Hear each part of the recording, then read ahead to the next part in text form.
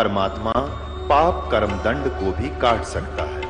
अभी तक जिस भी संत व महापुरुष से मिले, उन्होंने यही बताया कि पाप कर्म फल भोगने से ही समाप्त होगा। वो प्रभु कौन है जो पाप कर्म को काट देता है?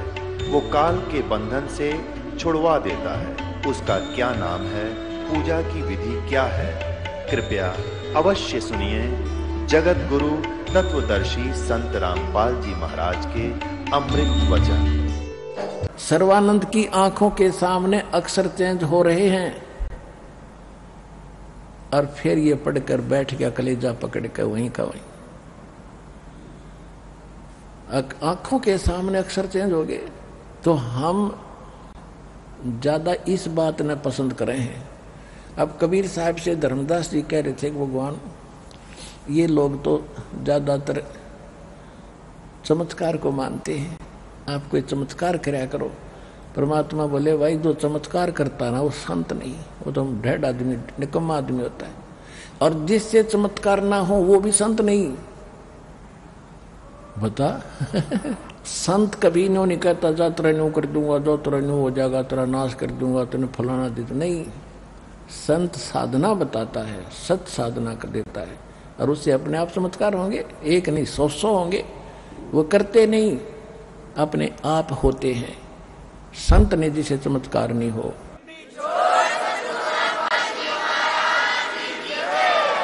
तो उसकी माँ बोली, रे विद्वान बेटा, मैंने तो तेरे को जन्म देकर मैं अपने आप को, जो है ना, धिक्कार मानती हूँ अपने जन्म को। ऐसा नालायक बेटा मेरा पैदा हो गया। माँ की बात नहीं मानता, तू आज बाकी सारी मान्या करता था। जब ने बोला, माँ, अब मान दूँगा, अब मान लूँगा क्यों? सारी अकल ठिकाना आ गई। घर में माँ की दुर्गति हो रही थी, वाह, ठीक हो रही, तब भी ना जच्ची इस मूर्ख के मान बढ़ाई के भूखे के। कहने लगे, अब मानूँगा माँ, सचमुच भगवान है। उन्होंने एक प्रश्न किया, उन्होंने सदग्रंथ का नाम लिया, मैंने खोल कर देखा, माँ, सचमुच यही लिखा है। लेकिन अहंकार वश मैंने झूठ बोली कि ऐसा नहीं लिखा है, ये झूठा है। मेरे से महान गलती होगी। माँ भी कैसे क्या मुँह लेकर जाऊँ उनके पास? उसकी माँ बोली, बेटा, मेरे साथ चल। मैं माँ हूँ तो बेटा है। तेरा जीवन मुझे आज दिखाई दे। पहले तो मैं गर्व करती थी, मेरा बेटा बड़ा विद्वान हो गया ब्राह्मण बड़ी कमाई करा करेगा। लेकिन बेटा, या कमाई बाढ़ में जाओ। असली कमाई तो राम नाम की है, जो सच्चा नाम और ज्ञान उस संत परमात्मा के पास है। मेरा बेटा वंचित था, मुझे घना दुख था। आज मेरी आत्मा गदगद होगी। चल तेरे नाम दिवा के लाऊँगी जाकर अपने बेटे को नाम दिला के लाई सुख संवेद में लिखा कि सोए मात सराइये जो पुत्र दे उपदेश। और सकल नार व्यभिचारणी यूँ कहता है शेष। कहते वही माता को सराइये जो अपने बच्चे को भक्ति पर ला दे। ना तो दुनिया बच्चे पैदा करे, पशुओं की तरह। उसका कोई यूज़ नहीं। क्योंकि माँ का असर बच्चों पर बहुत होता है। क्योंकि ज़्यादा संग माँ का करते हैं। इसलिए माता जैसी भक्ति, भक्तनी माँ होगी तो बच्चों पर भक्ति का असर गिरे गिरेगा कुदरती होता है।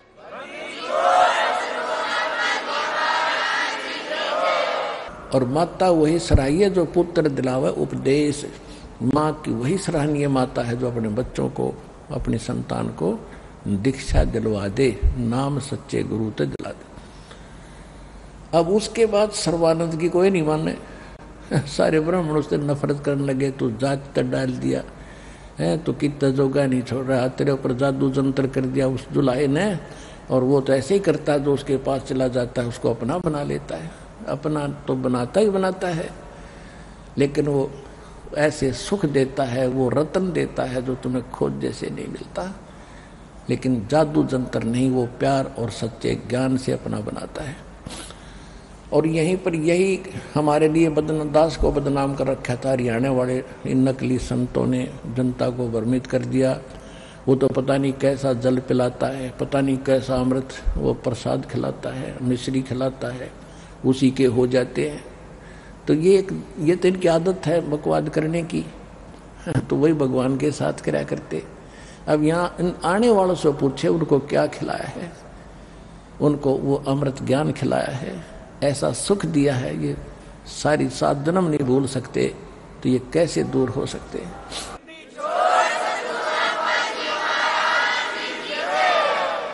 तो इस प्रकार परमात्मा ने उस शारदा को और शारदा के परिवार को सुखी किया और सर्वानंद ने त्याग दी सब बकवाद के सचमुच में तो जीवन नाश कर रहा था। ये फोकट की महिमा बनी हुई थी। ये दो दिन की विदुता थी। मृत्यु के उपरांत को एक नहीं पूछने वाला, पता नहीं कहाँ जन्म होता। तो इस प्रकार परमात्मा जब आते हैं तो ऐसे अपने भक्तों को, अपने बच्चों को अपना ज्ञान कराते हैं। अच्छी आत्माओं को मिलते हैं। तो परमात्मा ने कहा कि संसार के अंदर यदि आप जीने अच्छी तरह जीना भी चाहते हो तो मेरे गाइडलाइन के अनुसार आप चलो। जो मैं बताता हूँ, ऐसे अपने आप को ढालो। और फिर देखना उस मालिक की मौज कैसी होगी। साई, इतना दीजियो। जा कुटुम समावे, हम भी भूखे न रहे, अतिथि न भूखो जावे। इस प्रकार परमात्मा ज्ञान सुनाया करते थे, हिंदू और मुसलमान जितने भी धर्म गुरु थे, परमात्मा के ज्ञान के सामने नतमस्तक हो गए थे। अब समाधान इतना सुख देते थे, दुनिया गुण गाती थी, ब्राह्मण रोकते भी थे, तुम कहाँ जा रहे हो? दुल्हे के पास ब्राह्मण होकर के बहुत से ब्राह्मण दुखी भी उनके शिष्य हो गए थे। ऐसे मुसलमान भी आते थे, उन्होंने वो नमाज़ आदि करना बंद कर दी थी तो वो मुसलमान, उन मुसलमान बच्चों को दुखी करते थे जो भगवान के शिष्य हो गए थे। तो उन्होंने सोचा कि ये न तो मारने से मर रहा है। कबीर साहब को बहुत बुरी तरह यातनाएँ दी थी। एक झेरे कुएँ में डाल दिया, सौ, डेढ़ सौ, दो सौ फुट गहरा कुआ था, उसमें जल नहीं था। उसके अंदर डाल के ऊपर से छड़े, कंकर, मिट्टी, गोबर, गारा ठोक दिया ऊपर तक। और शेख तकी और साथ में अन्य मुसलमान बड़े खुश हुए थे कि हमने खत्म कर दी इसकी लीला। जब वो सिकंदर लोधी के पास पहुँचे ये बताने के लिए शेख तकी और अन्य दो उनको दबा कर आए थे सैकड़ों की संख्या में। सिकंदर लोधी के पास गए कि आपका भगवान की अहिलीला हमने खत्म कर दी है। वो मिट्टी में दबा दिया है, ख़त्म हो गया तेरा अल्लाह। सिकंदर लोधी ने कहा कि आप किसकी बात करते हो कि तेरे कबीर अल्लाह की भणक की, दुलाहे की, कि वो बैठा मेरे कमरे में? उनको बुलाकर दिखाया, भगवान वहीं बैठे थे।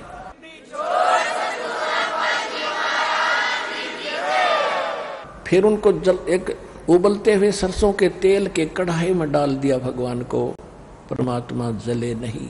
सिकंदर लोधी ने टेस्ट करने के लिए, क्योंकि शेख तकी ने सिकंदर लोधी से कहा था कि इसने तेल की तासीर को ठंडा कर दिया।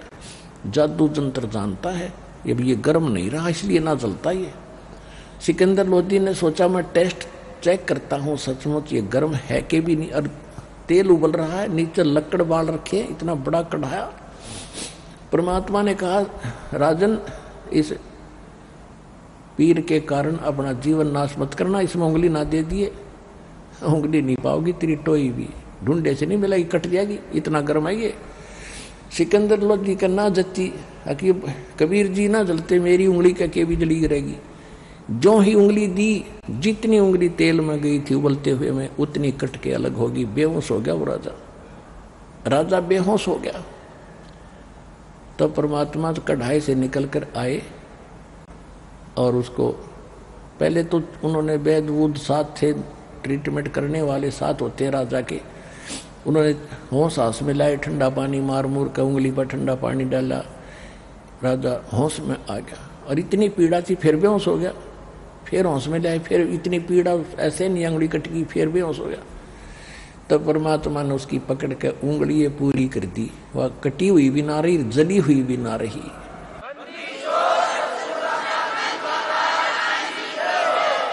अब तो सिकंदर लोधी खड़ा हुआ हो।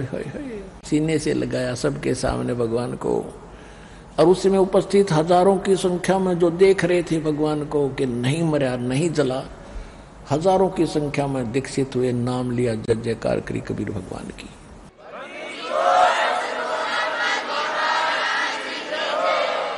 अब इस तरह पंडित और इन काजी मुल्लाओं ने भगवान के साथ वो सभी क्रियाक्रम कर लिए, जिससे ना तो वो मरे, ना ज्ञान से हारे। तब उन्होंने एक सकीम बनाई कि इसके नाम से झूठी चिट्ठियाँ डाल दो। ऋषि ऋषि में जितने भी मंडलेश्वर, साधु संत डेरिया वाले उनको, और ये खाना खिला नहीं पाएगा, तीन दिन का भंडारा लिख दो। और साथ में लिख दो कि खान, प्रत्येक भोजन के बाद एक मोहर देगा सोने की, दस ग्राम सोना। और एक दोहर, एक कंबल, बहुत सुंदर, पहले इसकी खद्दर की होती थी दोहर, यानी सबसे अच्छा और बहुत सेठ लोग ही उस दोहर का प्रयोग करते थे। ऐसा था वो खेस टाइप यानी खेस समझो डबल खेस। और वो बहुत कीमती होते थे। कहा कि एक दोहर देगा, एक मोहर देगा, तीन दिन का भंडारा होगा देसी घी का। देसी होता था पहले तो। और सभी आना, सभी ऋषि, सभी मंडलेश्वरों के बाद साधु संतों के डेरों में वो चिट्ठियाँ भेज दी। अब ये डेरे वाले बाबा भक्त जो गाँव छोड़, घर छोड़कर गए हुए थे, वो भी तो भगवान के बच्चे थे। परमात्मा ने परमात्मा के लिए तो भटक ही रहे थे पर नकली काम नकली, साधना कर रहे थे उनका दुर्भाग्य था। अब उनके अंदर यही उन डेरों के जो मुखिया होते थे संत उन्होंने तो वो जितने बच्चे सौ पचास उनके पास घर त्याग कर चले गए थे तो उनकी व्यवस्था करना भी उनका उन्हीं की ज़िम्मेदारी थी। इसलिए उसने सुनने सोचा कि सबको ले चलो। कोई लूले लंगड़े बीमार थे वो भी सारे ठा लिए और पहुँच गए कबीर जी के नाम पर पूरा डस दे रखा। कबीर पुत्र नीरू जुलाहों की कॉलोनी के पास और वहाँ ग्राउंड में आ जाना। तो 18 लाख साधु संत पूरी धरती के पृथ्वी के अपने शिष्यों समेत और काशी वाले तो न्यारे रह गए जो वहाँ के लोग थे, आसपास के। अठारह लाख तो बाहर के आए हुए थे। और पहुँच गए वहाँ पर रविदास जी ने पूछा भी, कहाँ से आए हो साधु संतो? क्या क्या फ़ंक्शन है यहाँ पर? तो उन्होंने बताया कि, काशी वालों, तुम कौन सी दुनिया में रहते हो? तुम्हें मालूम नहीं, हम इतनी दूर से आगे हैं। यहाँ बहुत बड़ा भंडारा है, कोई कबीर नाम का सेठ है। और वो तीन दिन का भंडारा करेगा। रविदास जी और कबीर जी ज़्यादातर इकट्ठे ही रहते थे। रविदास जी ने पूछा भी, तुम्हारे पास कोई पत्र है? कहा देखो, ये पत्र है। उन्होंने पढ़कर सुनाया। रविदास जी तो अनपढ़ थे। रविदास जी गए थे फ्रेश होने सुबह सुबह उन्हें कित के फ्रेश होते उन्हें सोचा, आज बिगड़ गई बात सारी भाई कबीर जी को बताऊँ जाकर के आज तो नाश कर दिया इन्होंने। कितने जोगे नहीं छोड़े।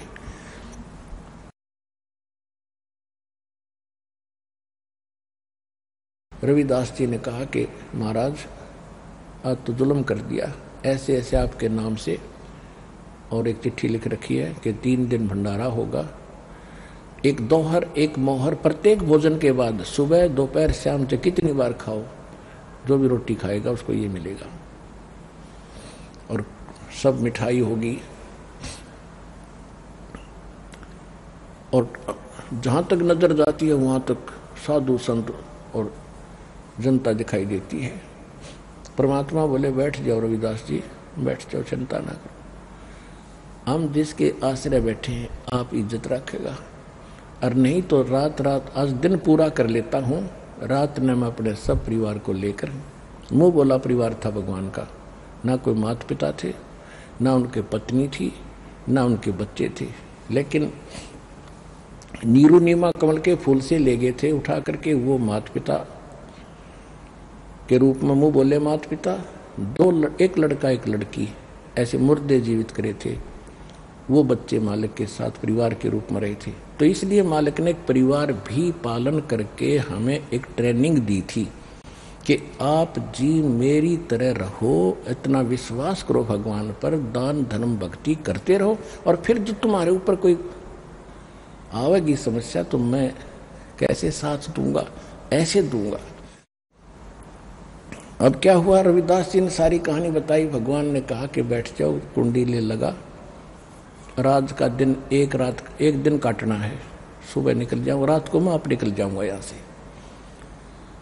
अब उधर से क्या हुआ? परमात्मा पहुँचे सतलोक में। एक रूप में वहाँ बैठे हैं।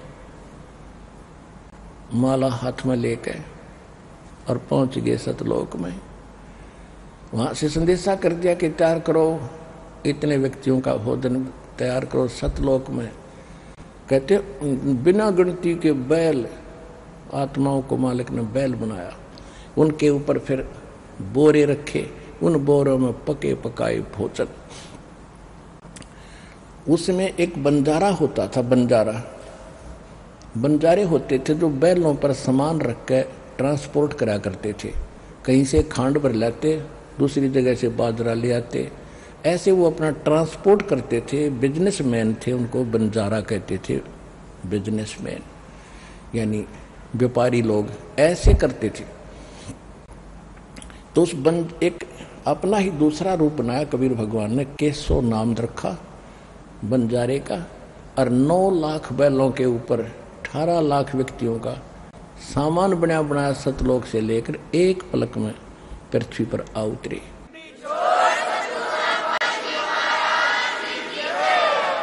अब काशी से थोड़ी सी दूर उतर के और ऐसे आ रहे हैं। अब परमात्मा गरीबदास साहिब जी ने बताया है कि उन बैलों के पैर ज़मीन पर नहीं टिकते थे। ज़मीन से छः इंच ऊपर चल रहे थे। अब उनका किसका ध्यान जाइए, पैर की टिके बैलों के वह तेनों देखे थे, बर्फ़ी कहाँ रखी है, कौन से बोरे में जलेबी कौन से में है, उन बैलों से क्या लेना देना था। और साथ में फिर सेवक आए थे, सतलोक से ही। सेवादार यहाँ सेवा करने वाले। वो और न्यारे थे। आके मिनटों के अंदर टेंट लगा दिए, मैट बिछा दिए और भंडारे की आवाज़ लगा दी, क्या हो साधु संतो भोजन खाओ, कबीर भगवान की तरफ़ से भंडारा तैयार है? हो गए शुरू। अब उधर भोजन खा रहे हैं, जय जयकार बुला रहे हैं, भाई धन है, ऐसा भोजन कभी खाया नहीं, कभी देखा नहीं। इतना स्वादिष्ट भोजन कहीं नहीं देखा, हमने भंडारे बहुत करे हैं, बहुत खाए उधर से शेख तकी ने, उधर से शेख तकी ने सिकंदर लोधी राजा दिल्ली के बादशाह को भी चिट्ठी भिजवा दी और शेख तकी ने पढ़कर सुनाई कि, राजन, आपके गुरुजी भंडारा कर रहे हैं, आप चलोगे? कब सिकंदर लोधी कहा कि, वो भंडारा कर रही है और मैं ना चलूँ, ये कैसे हो सकता है? अवश्य चलूँगा। तैयारी करो। अब वहाँ पहुँच गए। शेख तक इसलिए लाया था उनको, दिल्ली से काशी ले गया था कि आज इसकी फड़क निकल जाएगी राजा की क्योंकि कबीर तो भाग गया होगा, रात छोड़ के नगरी को। और लोग उसको गालियाँ दे रहे होंगे, पहले चिट्ठी डाल दिया भोजन नहीं खिला रहे हो, कहाँ गया उसकी, तोड़ दो झोंपड़ी, मकान को। और राजा को भी पता चल जाएगा, इसको अल्लाह कह रहा था, भगवान बतावा था। जब सिकंदर लोधी हाथी पर बैठकर वहाँ पहुँचा तो देखा भंडारा चल रहा है, जय जयकार हो रही है। शेख तकी ने पूछा कि भंडारा कौन कर रहा है? कि कबीर सेठ कर रहा है, कबीर सेठ कर रहा है, खाने वाले ने तक सेठ है, दिखा था वास्तव थे भी सब सेठन के सेठ सुनो रहे जो मकरा सब सेठों के सेठ हैं, वो सब मालिकों के मालिक हैं। हम पहचान नहीं पाए।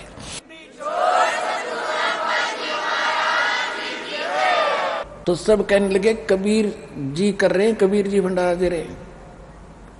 सिकंदर लोधी ने पूछा कि कबीर जी कहाँ हैं? कि वह बैठे। हम ये तो मालूम नहीं कबीर जी कहाँ हैं, पर एक इस तंबू में बैठा एक व्यक्ति, वो सब अरेंजमेंट वो कर रहा है। दूसरा रूप बना के केसो नाम के बंजारे का एक अलग से टेंट में भगवान बैठे। सिकंदर लोधी शेख तक वहाँ पहुँचा। सिकंदर लोधी ने पूछा कि आप कौन हैं? आप क्या लगते हो नाते में कबीर जी के? उसने कहा, केशव ने कहा कि मैं कबीर जी का पगड़ी बदल मित्र हूँ, यार हूँ। और उसने मेरे पास एक संदेशा भेजा था कि मित्र एक सब, एक छोटा सा भंडारा करना है तीन दिन का। ये ये आइटम उसमें भंडारे में दान करने हैं। आप कुछ सामान लेते आइएगा। अब शेख तकी की तांखें फटी फटाई रहेगी कि इसने छोटा सा भंडारा कहते हैं। लाखों लोग जीव रहे हैं। सिकंदर लोधी ने पूछा कि कबीर जी कहाँ हैं? कि कबीर जी अपने विश्राम करें, अपने घर पे बैठे। क्या आए नहीं वो? क्या आएँगे भी? कब आएँगे? सिकंदर लोधी ने पूछा। शेख केशव ने कहा कि वो मालिक के, मर्ज़ी के मालिक हैं। रजा होगी तो आ जाएँगे। उनका दास जो बैठा है, उनको क्या आवश्यकता आने की? ओए होए, सिकंदर लोधी की तरह गद गद आत्मा होगी और शेख तकी की मासी मरगी। कि वो तो न्यू लिया था, श्रृंगार का राजा ने आज यो तेरे साथ पूरा हो जाएगा और वो जाएगा भागे कबीर तो भाग्य होगा, इस जो फिर मेरे ऊपर पूरा विश्वास करेगा, मुझे ही मानेगा। कहते हैं, वज़ीर और फकीर ये नकली, ये दूसरा निशो आया करे तो कभी वो तो पेट पकड़ कर बैठ गया। अब जलम हो गया, भाई आज भी ना भाग गया तो। उधर से शेख सिकंदर लोधी ने कहा कि मैं कबीर जी के दर्शन करूँगा। दर्शन के लिए चल पड़े।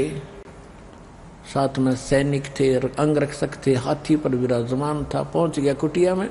कुटिया के पास खड़े हो गए और उतर के नीचे सिकंदर लोधी ने जैसा भी खटखटाया दरवाज़ा, परमात्मा की कुटिया का। रविदास जी कहने लगे कि, महाराज जी, ये तो आगे दिखा यहाँ पर भी। परमात्मा बोले बोलो मत, अपने भजन कर रविदास। दरवाज़ा नहीं खोलेंगे और आप चले जाएँगे कुआड़ पीट के। सिकंदर लोधी ने कहा कि हे कबीर जी, हे भगवान, राजा, दरवाज़ा खोलो। फिर कहा कि, मैं सिकंदर लोधी आपका दास आया हूँ दिल्ली से। आपके दर्शन करना चाहता हूँ। दरवाज़ा खोलो। परमात्मा ने कहा कि, राजन, दरवाज़ा नहीं खुलेगा दिन में। इन लोगों ने मेरे साथ बहुत बदतमीजी कर रखी है। मुझे जीने नहीं दे रहे। ये यही चाहते हैं, मैं यहाँ से भाग जाऊँ, रात को मैं चला जाऊँगा। मेरे नाम से झूठी चिट्ठियाँ लिख रखी हैं। लाखों लोग मेरे द्वार पर खड़े कर दिए हैं। मैं गरीब आदमी, अपने बच्चों का मुश्किल से कपड़ा बुनकर गुजारा कर रहा हूँ परिवार का। हे भगवान, मैं कैसे उनको खिलाऊँगा? मेरी तो बेजती कर दी। मैं तो जाऊँगा, मुँह कैसे दिखाऊँगा? अब सिकंदर लोधी कहने लगे, भगवान आप मुझे नहीं बहका सकते, मैं आपको समझ चुका हूँ। आपने क्या क्या रंग लगा रखा है? वहाँ जाकर देखो दाता, जय जयकार हो रही आपकी, आपने ठाठ कर रखे है। आपके नाम से भंडारा चल रहा है।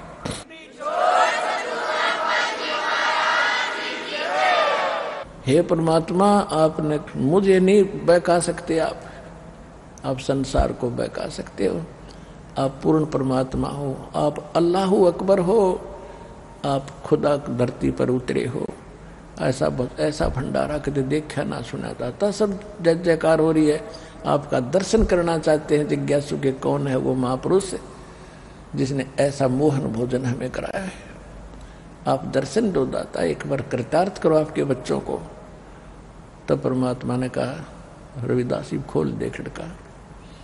जो ही दरवाज़ा खोला सिकंदर लोधी मुकुट समेत दंडवत प्रणाम किया चरणों में, आधा दरवाजे से बाहर, आधा दरवाजे में। और खड़ा होगा बाहर कुटिया में, कुटिया से और कहा, महाराज, एक बार दर्शन दो, मेरे साथ चलो। तब कहते हैं, परमात्मा जब खड़े हुए, आसमान से एक मुकट आया, मुकट झिलमिल झिलमिल करता हुआ, सिर के ऊपर ताज और जो ही बाहर निकले तो आसमान से फूल बरसने लगे कबीर भगवान पर। ओए होए।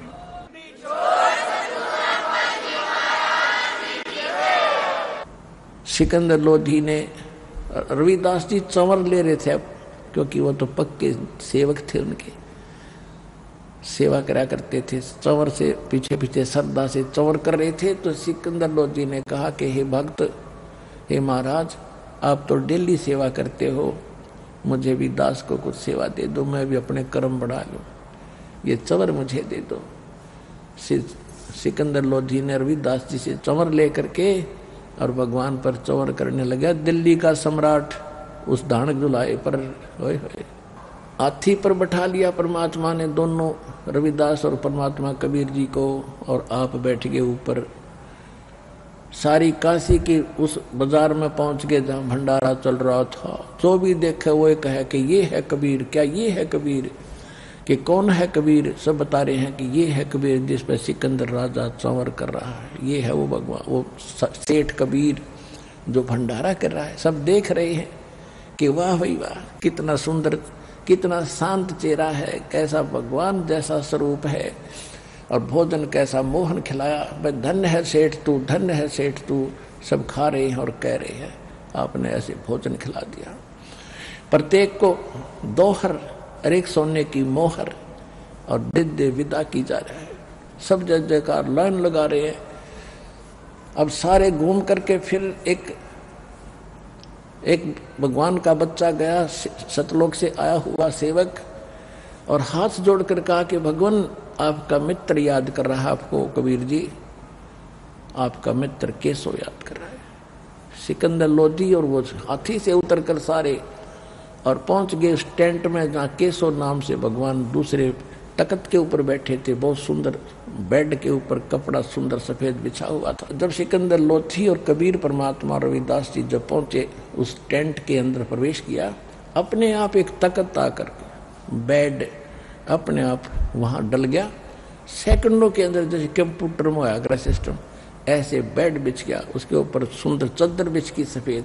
चारों तरफ़ लाल हीरे मोती जड़ गए चारों तरफ़, झालरों की तरह। और कबीर जी केशव ने कहा, बैठो भगवान, आपका आसन तैयार है। परमात्मा उसके ऊपर विराजमान हो गए। टेंट के चारों तरफ़ से सीलिंग खोल दी और कहते हैं, बार, आठ पैर तक, चौबीस घंटे तक परमात्मा ने वहाँ सत्संग किया। केसो नाम प्रसन्न करते हैं केसो रूप में स्वयं उत्तर देते हैं।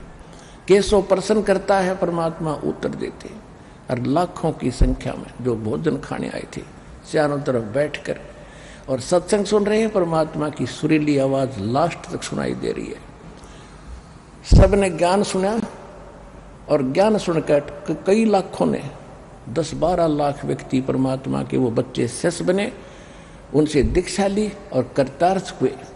मैं रोवत हूँ सृष्टि को, ये सृष्टि रोवे मोहे। गरीबदास इस योग को समझ न सकता कोई। अब वो साधु संत घर छोड़ कर भगवान के लिए जंगलों में पड़े थे। उन बच्चों को, उन दुष्टों ने तो सोचा था, उसकी बेजती करूँ और परमात्मा खुश हो रहे थे, करण दे कट्ठे इनने माड़े देख लूँगा, ना मैंने बुलाने पड़ेंगे कि तब ये कट्ठे भी ना होते मेरे तो तय ये इकट्ठे तो कर देंगे इन्हें। वो कट्ठे करवा दिए, फिर वहाँ ज्ञान सुना दिया और उनके सारी उम्र का धन दे दिया कि मेरे नाम से तुम भटक रहे हो, पर मुझे पहचान ना रहे। इन डेरों में थोड़ा सुख सांस कट जाएगा टाइम पास हो जाएगा। मांगते ना फिरोगे, अरे ये भक्ति कर लेना, जो मैंने दे दी तुम्हारे को। एक भगत डिस्कस करते हैं कि जी, वहाँ तो तीन दिन भंडारा चला और एक तीन, एक दिन में तीन तीन बार तो भोजन ज़रूर कराया होगा। और बेईमाना ने पाँच पाँच बार भी कर दिया होगा, जो गणे दौर मोर लेने वाला ने। तो जितनी बार खावा थे नो नहीं कहा था कोई क्यों खावा भाई खा गया था। ना। पुणात्माओं वही कबीर भगवान यहाँ भोजन करवा रहा है। आप देख रहे हो दिन रात लाखों भगत आते हैं। और कितनी बार कौन क्या खाता है? बाप कभी अपने बच्चों से कहता, तू क्यों खा रहा है इतना? कितना खा? तेरी खातिर खुला दरबार।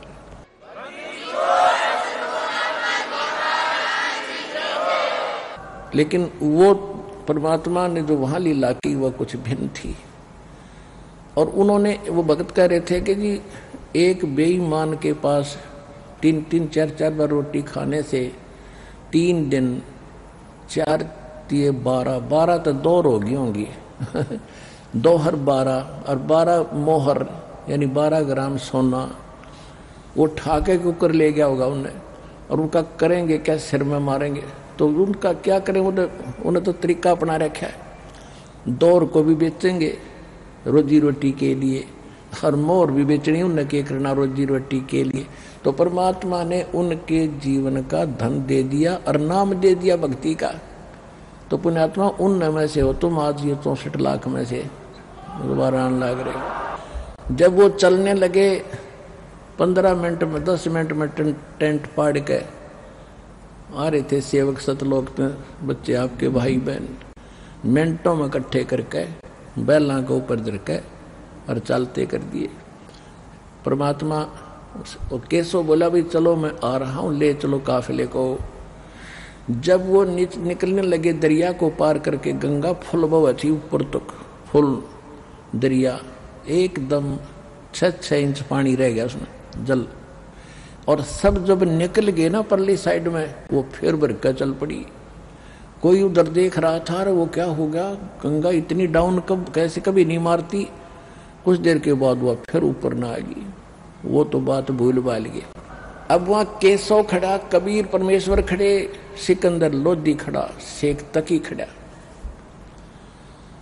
अब शेख तकी क्या कहता है कि चलो, राजन सिकंदर बादशाह, चलो अपने वहाँ चलेंगे, दिल्ली में। ऐसे सौ भंडारे कर दे, इसने तो महोछा सा किया है। ये कोई भंडारा था इसका? अब सूक्ष्म वेद में गरीबदास जी ने कहा है पुणात्माओं महोछा क्या होता है और यज्ञ जौनार क्या होती है?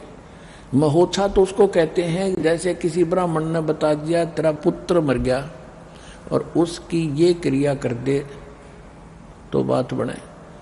नहीं तो दुखी हो रहा है, इतने कपड़े ला दे, इतने फलानी चीज़ लाए तो वो नकली सा सौदा लाया करे। और दुखी होकर रोता हुआ सा टाइम पास करने के लिए पैसा लगाता है कि किसी तरह एक बार यू हो, पीछा छूटे। और एक किसी का लड़का हो जा कई वर्षों के बाद फिर वो खुले दिन ते जोनार जग कराया करता, जग।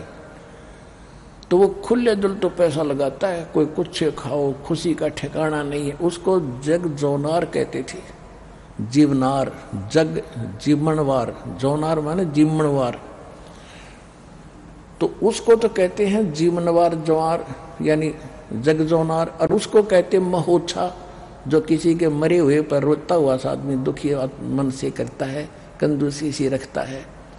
तो क्या कहते हैं गरीबदास जी, कि कोई तो कहे, जग जोनार करी है, और कोई कहे महोछा, और बड़े बड़ाई करा करें, ये गाली काटे ओछा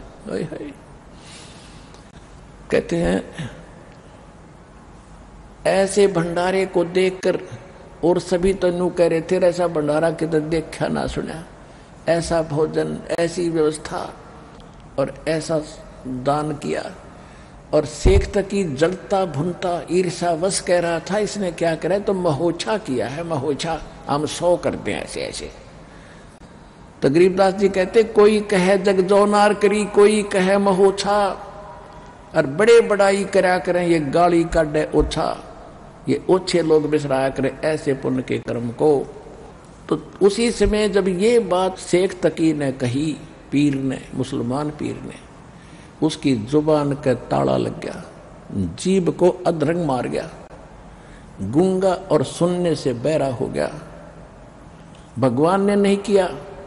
भगवान करते तो उसको पहले ही कर देते, उसने तक पता नहीं कितने कुफर तो लेते उसके कर्मों ने मार कर दी। मर गया, फिर वो तड़फ कर भगत कर सेख तकी। गुंगा और बहरा होकर जीव को अद्रग मार गया। वो तो है एक पास। से अब क्या होता है कि सिकंदर लोधी ने कहा कि, हे केशव जी, आपका काफिला चला गया है। वो आपकी इंतज़ार कर रहे होंगे। आप गए नहीं? और फिर ये देखा कि कितनी दूर चला गया होगा। सबने देखा, दरिया पर खड़े थे, साथ में हो रहा था सत्संग। भंडारा। तो देखा भी काफिला नौ लाख बैल तक माचिस में डाल देगा कोई डिबिया में। दो तो दूर तक तो जाते दिखेंगे।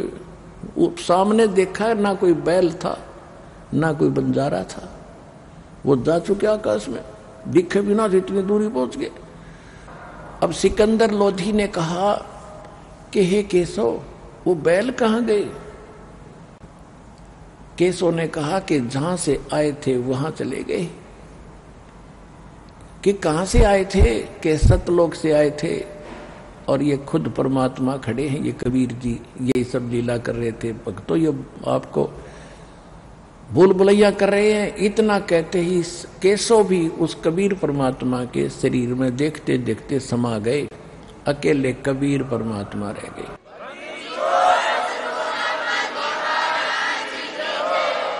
दो ठोर है एक तू भया एक से दो। गरीबदास हम कारणे तुम आए हो मगजो। अनंत कोट ब्रह्मंड का एक रति नहीं भारे। सतगुरु पुरुष कबीर हैं ये कुल के सिरजनहार हम सुल्तानी नानक तारे दादू को उपदेश दिया। जात दुलाहा भेद न पाया का सीमा है कबीर हुआ। अपने आत्माओं, आज जो आप दास ने आपसे प्रार्थना की थी प्रारंभ में, कि परमात्मा एक लीला कर रहे थे कि आप जी ने यदि परमात्मा पाना है तो मुझ की, जैसे मैंने, वो तो एक रोल कर रहे थे हमारे लिए। मैं कितना गरीब था, कबीर जी कह रहे, हमें दिखा रहे। कपड़ा बनता था, बचे हुए को भी दान करता था। और विश्वास पूर्ण रखता था अपने भगवान पर। मालिक ने मेरे लिए क्या किया? यानी खुद तो थे ही वो, पर हमारे को एग्ज़ाम्पल बता रहे हैं, तुम भी इतना विश्वास मेरे पर करोगे तो तुम्हारे लिए ऐसे खड़ा मिलूँगा तुम्हें मैं।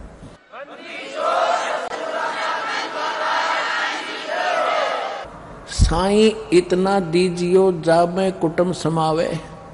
और हम भी भूखे ना रहें, अतिथि न भूखा जावे। अब देखो, उस दिन कितना परिवार था परमात्मा का? अतिथि कितने थे? अठारह लाख। और तीन दिन मोहन भोजन लड्डू कचौड़ी, पकौड़ी, जलेबी, हलवे, खीर और सूखा सीधा, निखांड, चावल, मिठाई, दाल, सूखी भी ले जाओ, बेईमान थे नो सूखा सीधा दे, सूखा भी ले जाओ। सतलोक में कोई कमी नहीं किसी सथा, किसी वस्तु की। तो कहते हैं, मेरे द्वार पर अठारह लाख अतिथि आ गए और वो भी छकाती है।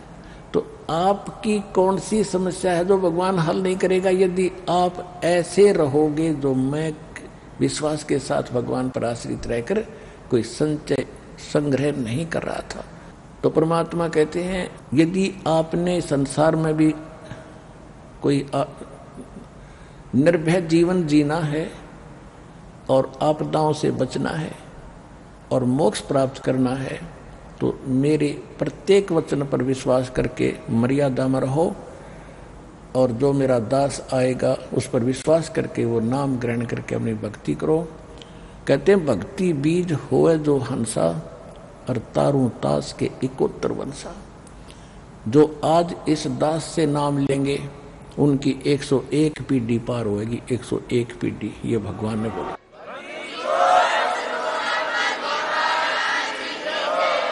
तो 101 पीढ़ी पार होएगी और आपका भी मोक्ष होगा और जिन पितरों के आप श्राद्ध श्रुद्ध कटा कर, कर दुखी हो रहे हो आप भी नरक में जाने की तैयारी कर रहे थे वो आपके पितर भी दोबारा मनुष्य जीवन प्राप्त करके आपके घरों में आके और वो मोक्ष प्राप्ति कर जाएँगे। ये सत्कर मान लेना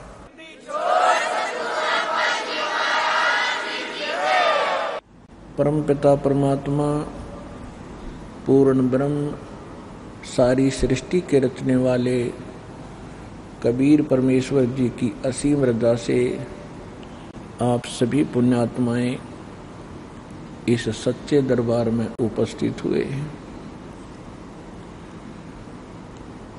कहते हैं लखबर सूरा जोध ही लखबर सावत दे, और लखबर यति जिहान में, तब सतगुरु शरणा ले आप ना जाने कितने जन्म जन्मांतर से परमात्मा की भक्ति कर रहे हो। लेकिन किन्हीं भी कारणों से आप पार नहीं हो पाए, लेकिन फिर भी प्रयत्न जारी रहा।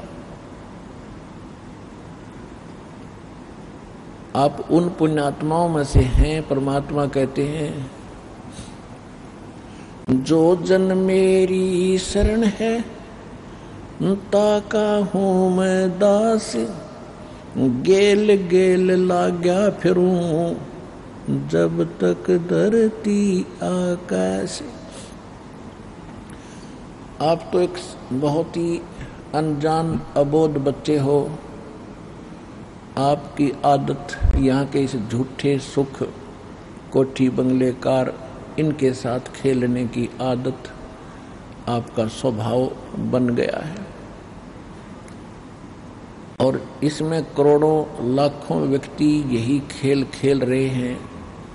आपने भी वही क्रिया फाइनल मान ली, अंतिम मान ली।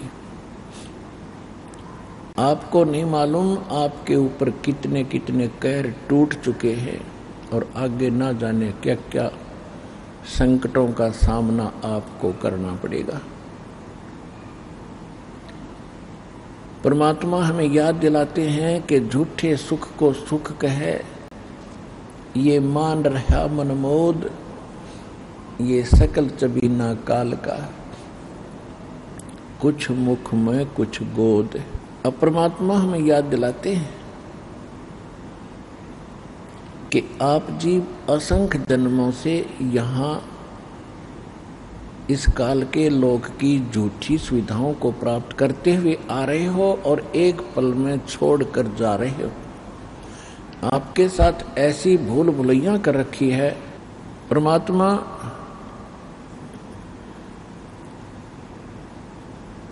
आपको ये याद दिलाना चाहते हैं कि आप यहाँ ज़्यादा समय नहीं रहोगे।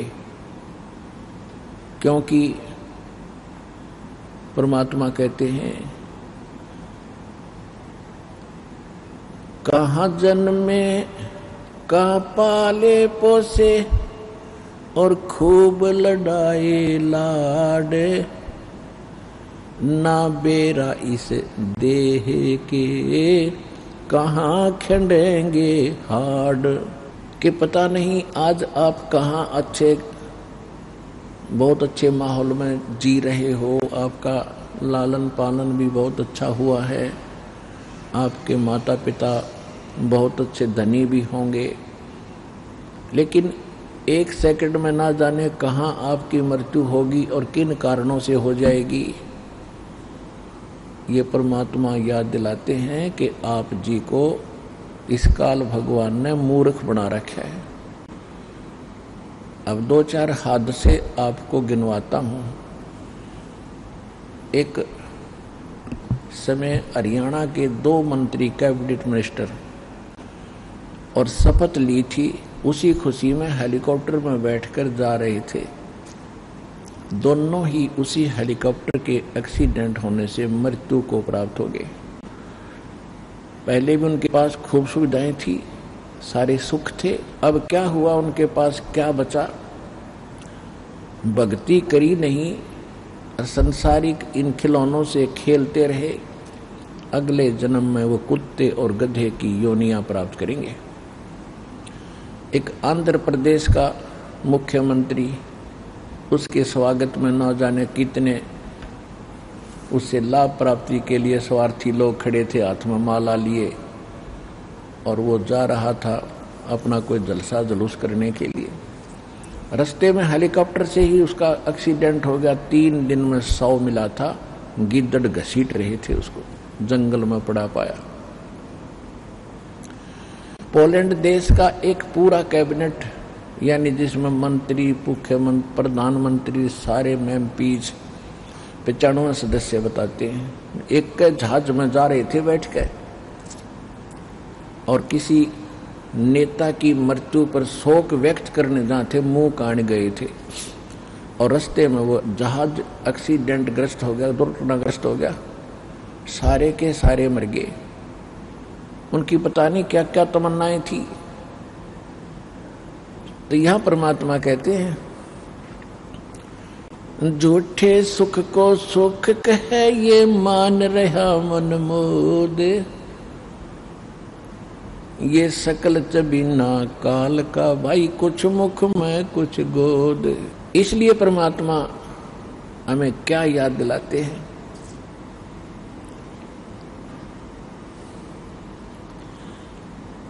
पुणात्मा परमात्मा कहते हैं, यो सौदा फिर ना ही रे संतो, ये सौदा फिर नाही, यो सौदा फिर ना ही रे संतो, यो सौदा फिर नाही। सौदा, बिज़नेस, व्यापार। हम जैसे दो व्यक्ति दो चार लाख रुपए लेकर के किसी दूसरे स्टेट, दूसरे शहर में बिज़नेस सौदा करने के लिए गए थे। उन्होंने वहाँ पर किराए पर होटल में कमरा ले लिया। एक तो उस चार पाँच लाख रुपए का सौदा खरीद रहा है, बेच रहा है, खरीद रहा है, बेच रहा है। और उसने उससे दुगने तिगने चौगने बना लिए, दाम इकट्ठे कर लिए यानी सौदा जिस उद्देश्य के लिए गया था, वो पूंजी लेकर उसकी कई गुना बढ़ा ली। और दूसरा शराब पीता है, सिनेमा देखता है, सैर सपट्टे करता है। यानी जिस उद्देश्य से वो पूंजी लेकर गया था, उसी से को खर्च रहा है, खा रहा है। अंत में वो पूंजी रहित हो जाता है। उसके पास खाने को भी पैसे नहीं बचते हैं तो होटल का मालिक भी उसको कमरे से बाहर फेंक देता है। इसी प्रकार मनुष्य जीवन प्राप्त प्राणी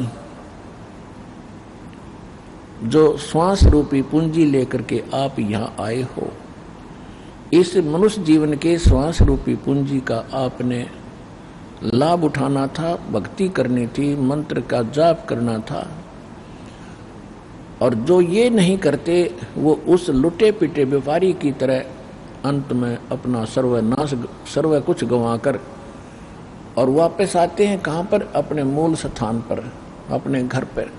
वहाँ वो निर्धन हो जाता है, फिर मजदूरी करता है। उसके बच्चे भी मजदूरी करते हैं। और जो अपना उद्देश्य पूरा करके आता है, वो सेठ और साहूकार कहलाता है। इसी प्रकार परमात्मा हमें याद दिलाते हैं कि आप श्वास रूपी पूंजी लेकर आए हो, मनुष्य जीवन आपको प्राप्त हुआ है। जो इसका ठीक से लाभ नहीं उठा रहे हैं तो वो उस हारे हुए व्यापारी की तरह अपना जीवन नाश करके जाएँगे। परमात्मा कहते हैं, श्वास, उश्वास में नाम जपो, व्यर्था श्वास मत खो। ना जाने इस श्वास को आवण हो क न हो। कबीर सब जग निर्धना, धनवंता ना कोई धनवंता सो जानियो, जिस पर राम नाम धन हो अब यहाँ परमात्मा कहते हैं, सौदा आपने करना था। और कैसे करना था? ये मनुष्य जीवन की प्राप्ति, ये बार बार दाव नहीं लगता। मनुष्य जीवन प्राप्त करके फिर सतगुरु, संत का मिलना ये बहुत ही मुश्किल और कठिन कार्य है। आप जी को अब दोनों दाव लगे हैं। मनुष्य जीवन भी प्राप्त है और आपको सतगुरु भी प्राप्त है। अब इसका आप जी को लाभ उठाना होगा। यहाँ से पीछा छुटवाना होगा। असंग जन्म का रोग, यु जन्म मृत्यु का, अब आपका आसानी से, सरलता से कट जाएगा। थोड़ी सी सावधानी बरतना। यो सौदा फिर नाही रे संतो, यो सौदा फिर नाही, ये सौदा फिर नाही रे संतो, यो सौदा फिर नाही। लोहे जैसा ताव जात है, लोहे जैसा ताव जात है। काया दे सराही रे संतो, यो सौदा फिर नाही। यो सौदा फिर नाही रे संतो, यो सौदा फिर नाही। अब जैसे लोहार कारीगर होता है, वो लोहे को गर्म करता है। और गर्म करके उस गरम गरम लोहे पर तुरंत चोट लगा देता है तो उसका जो वो बनाना चाहता है, वो तुरंत बन जाता है। और यदि जरा सा भी वो लोहा ठंडा हो जाता है, उसके ऊपर चाहे फिर सारे घन को और कूटले घन से वो कुछ नहीं कर पाता, वो लोहा टस से मस नहीं होता, टेढ़ा मेढ़ा हो जाता है। इसलिए ये मनुष्य जीवन जो आपका है, ये आपका लोहा गर्म है। इस लोहा गर्म रहते, यानी मनुष्य जीवन के सांस शेष रहते रहते, यदि आपने इसके ऊपर इस राम नाम की चोट मार ली तो आप इसका वो वस्तु बना लोगे जिस पर से लोहा गर्म किया गया था। अर्थात जिस उद्देश्य से आपको मानव शरीर प्राप्त हुआ था। अन्यथा ये मनुष्य शरीर छूटने के बाद ये लोहा ठंडा हो जाएगा, फिर ये टेढ़ा मेढ़ा मुँह लगेगा, कुत्ते गधे सुअर के आपके मुखोटे लगे फिरेंगे और फिर कुछ नहीं बन पाएगा। ये किसी डूम भाट के गीत नहीं है, ये गॉड गिवन स्पिरिचुअल नॉलेज है। भगवान का बताया अध्यात्म ज्ञान है जो दास ढंडोरा पीट रहे आपके लिए।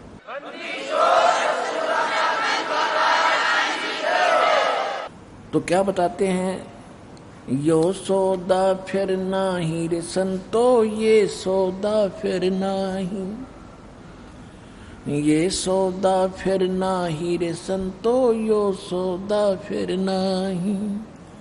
लोहे के सा ताव जात है, लोहे जैसा ताव जात है, काया दे सराही रे संतो, यो सौदा फिर नाही।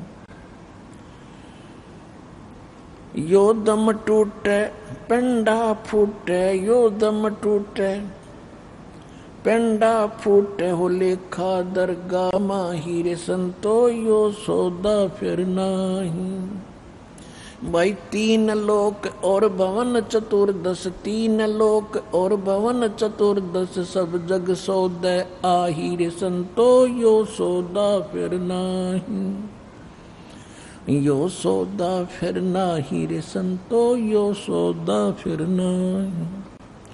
दुगने तिगने किए चौगने, दुगने तिगने किए चौगने किन्हू मूल गवाई रे संतो, यो सौदा फिर नहीं। यो सौदा फिर नाही रे संतो, यो सौदा फिर नहीं। उस दरगाह में मार पड़ेगी उस दरगाह में मार पड़ेगी। फिर जम पकड़ेंगे बाहिर संतो यो सौदा फिर नहीं। आइए अब हम उन श्रद्धालुओं के अनुभव जानते हैं जो जगत गुरु तत्वदर्शी संत रामपाल जी महाराज जी से दीक्षा प्राप्त कर चुके हैं तथा उनके द्वारा बताए गए भक्ति मार्ग पर चल रहे हैं। नमस्कार सर। नमस्कार जी। सर क्या नाम है आपका? मेरा नाम चंद्रभान सिंह है। सर कहाँ से आए हैं आप? हम मध्य प्रदेश के शिवपुरी जिला से आए हैं। सर संत रामपाल जी महाराज से नाम दीक्षा लेने से पहले क्या आप कोई भक्ति साधना भी करते थे? रामपाल जी महाराज से जुड़ने से पहले हम जो जो अपने लोकाचार में जो गाँव में जो भक्ति कर होती थी व्रत करना पूजा करना और वैसे हमारे जो दादाजी रामायण पढ़ते थे तो मैं बचपन से ही दो दूसरी क्लास ही रामायण पढ़ने लगा था तो भगवान में मेरी रुचि पे बचपन से ही थी। तो मैं रामायण पढ़ता था, गीता भी पढ़ी, शास्त्र पुराण, वो शिव पुराण और शिव और ब्रह्म पुराण भी पढ़ी, मैंने विष्णु पुराण भी पढ़ी। तो भगवान की थोड़ी थोड़ी जानकारी थी कि भगवान की भक्ति करनी चाहिए, इसलिए मैं पूजा पाठ, व्रत आदि करता था। फिर जैसा जैसे बड़े हुए, हम पढ़े हुए, दस बजे तक पढ़ाई की हमने। फिर एक हमारा जो क्लास था, क्लास का दोस्त था, वो सतपाल जी महाराज के यहाँ भक्ति करते थे मुझसे उन्होंने बताया तो मैंने वहाँ से नाम दीक्षा ले ली। तो आपने सतपाल जी महाराज से नाम दीक्षा ली। सतपाल जी महाराज से नाम दीक्षा लेने के बाद क्या आपको कोई लाभ भी प्राप्त हुए? लाभ का वहाँ पर भक्ति करते हुए लाभ का तो सर जी, हमें कोई ऐसा नहीं हुआ कि लाभ भी होता है भक्ति करने से, वो तो ऐसा था कि जो भाग में है वो मिलेगा, इसलिए हम वहाँ पर भक्ति करते रहे। लाभ का तो वहाँ पर कोई ऐसा वो नहीं हुआ, बल्कि जो हमारे काम हम करते थे घर में, लाभ के लिए वो लाभ वो को कुछ नहीं होता था। जैसे कि हमने वहाँ पर रह के छः सात बोर करवा लिए थे मैंने तो कि कोई भी काम सक्सेस नहीं हुआ वहाँ पे। तो इस हम तो सोचते कि भाग में नहीं है तो ऐसा ही है।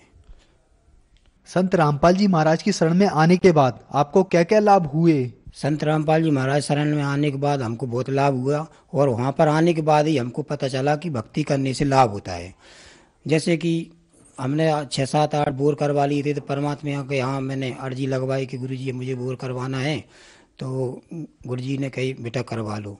तो जब बोर करवाया मैंने तो उनकी कृपा से इतना पानी मिला कि मेरे गाँव में आज किसी के पास इतना पानी नहीं, इतना मेरे पास पानी है। और फिर मैं सोते में मुझे कोई दाव लेती थी, कोई प्रेत आत्मा था या देव था, कोई था, ये मुझे पता नहीं है। तो मुझे बहुत परेशान करता था। तो मैं जब से गुरुजी से नाम लिया संत रामपाल जी महाराज से तो महीने, दो महीने के बाद वो भी ठीक हो गई। और जो हमारी भगतमती थी तो सर जी, क्या बताऊँ बताऊँ कि मेरी दो शादी हुई है। तो एक पत्नी हमारी ख़त्म हो गई तो वो उसके शरीर में आती थी। तो आती थी तो उस परेशान करती थी, बात करती थी वो वैसे मेरे से बेसिस बात करने आती थी। तो बात भी करती थी तो जब मैं ये लॉकेट डालता तो बात करने आई, वो जब नाम लिया था मैंने तो उसने कही कि ये लॉकेट हिल लो। मैंने कही, भाई क्यों? कि इसकी मुझे तपन लग रही है। मैंने कही, मैं लॉकेट तो पहले सतपाल जी महाराज का ही डालता था, जब तुझे कबू कच नहीं कही। बोले कि उससे कुछ नहीं होता था, इससे मुझे तपन लग रही है। तो मैंने कही, यार, ठीक है तो कोई शक्ति है जब तो ये ऐसी कह रही है। तो मुझे रामपाल जी महाराज पर और विश्वास हुआ। तो धीरे धीरे पर वो हमारी भगवती को समझ में आई, पत्नी को। उसने नाम ले लिया, जब से वो भी बढ़िया हो गई। उसकी भी आत्मा वहाँ से चली गई, जो परेशान करती थी। मेरे पेट में जलन पड़ती थी बहुत पहले से, कभी कोई पड़ती थी। एक बार जबलपुर में सतपाल जी महाराज का प्रोग्राम था, वहाँ पर थे हम। तो वहाँ पर मेरे पेट में जलन पड़ने लगी। तो वहाँ पे डॉक्टरों से इलाज करवाया। वहाँ पे जो महात्मा बना दिए उनसे भी कई मैंने कि, महात्मा जी, जो मेरे पेट में जलन पड़ रही है, उनके नाम सुमरण करो, ठीक हो जाओगे। तो कुछ नहीं हुआ वहाँ पे। जलन पड़ती रही पड़ती रही गाँव में आके, फिर थोड़ा बहुत इलाज करवाया। उससे फिर धीरे धीरे एक आध महीने में वो अपने आप थोड़ी थोड़ी बंद हो गई। फिर वो कभी कभी और बीच बीच में होने लगी। तब एक बार मैं दिल्ली में था। हमारे जो बहनों थे, उन्हें हार्ट अटैक की बीमारी थी तो उनके साथ में मैं पंद्रह दिन रहा दिल्ली में। तो वहाँ पे मेरे पेट में दोबारा जलन पड़ लगी। मैंने वहाँ पे जो सीपरी की बड़ी हॉस्पिटल थी उसमें गोली दवाई ली। उनसे खाने के, खाई तो और ज़्यादा जलन पड़ने लगी। तो मैंने कही, अब तो बड़ी मुश्किल है, मेरे को बैठना ही मुश्किल हो गया। तो मैंने फ़ोन नंबर से आश्रम, संत रामपाल जी महाराज की अर्जी लगाई कि, मालिक, मेरे पेट में जलन पड़ रही हो, आराम नहीं हो रहा हो। तो नाम लेने के बाद उन्होंने अर्जी ले ली कि कल जवाब देना, लेकिन मुझे उस टाइम से आराम पड़ गया। आप पहले सतपाल जी महाराज से जुड़े हुए थे, फिर संत रामपाल जी महाराज की शरण में आए और आप संत रामपाल जी महाराज जेल में हैं। आपको डर महसूस नहीं हुआ कि संत रामपाल जी महाराज की शरण में आने के बाद कहीं आपको कोई नुकसान नहीं होगा? नुकसान की तो सर जी, ऐसी है कि बता आपको बताया था कि हानि और लाभ तो संत रामपाल जी महाराज शरण में आने के बाद ही पता चला। अब वो बात ज्ञान की थी कि मैंने बचपन से शास्त्र पढ़े थे, सर। तो उसमें मुझे, मैं बैठ कर के भी प्रेमियों से भी चर्चा करता था नाम लेने के बाद भी कि यार जी, भगवान कैसा है? ये तो राजाओं के घर भी जन्म लिया और मारता है। ये मारने वाला काम भगवान का कैसे हो सकता है जब इसने सारा संसार बनाया है? तो एक हमारे प्रेमी थे सतपाल महाराज के, वो भी सतपाल महाराज थे तो उनकी एक बच्ची खत्म हो गई थी, सतपाल जी महाराज का नाम ले ले करके तो उनका जब से मन हट गया और वो उन्होंने यहाँ पर संत रामपाल यहाँ का दीक्षा ले ली थी उन्होंने मुझे गहरी नज़र गीता किताब पढ़ने की दी। मैंने उसको पढ़ा समझ करके मैंने तो उस ज्ञान आधार पर ही संत रामपाल जी महाराज से नाम दीक्षा ले ली थी। तो आप भगत समाज को क्या संदेश देना चाहते हैं? भगत समाज को मैं संदेश तो नहीं प्रार्थना कर सकता हूँ कि देखो इस समय भगवत जो वेद और शास्त्रों ने हमें बताया कि भगवान कौन है और सच सच्चा सतगुरु कौन है गीता के अनुसार। वो उसको गीता के अनुसार समझें और इस समय में वो सच्चा सदगुरु इस धरती पे आया है उसके नाम लें और अपने जीवन कल्याण कराएँ अपने दुखों का दूर करें। संत रामपाल जी महाराज से जुड़ने के लिए क्या करना होगा? संत रामपाल जी महाराज से नाम दीक्षा लेने के लिए ऐसा कोई भगत उनके ज्ञान गुरु सुन रहा है और उनसे नाम दीक्षा लेना चाहता है तो या अपने अड़ोस पड़ोस में कोई भगत है तो उससे संपर्क करें या फिर चैनल पर सत्संग आता है उसके नीचे एक नंबरों की पट्टी चलती है। उस पर नंबर पर फ़ोन लगा के पता चलें कि अपने पास में कौन सा नामदान किन पड़ता है वहाँ पता करके वहाँ पे जा करके नाम दीक्षा ले सकते हैं। धन्यवाद सर। धन्यवाद।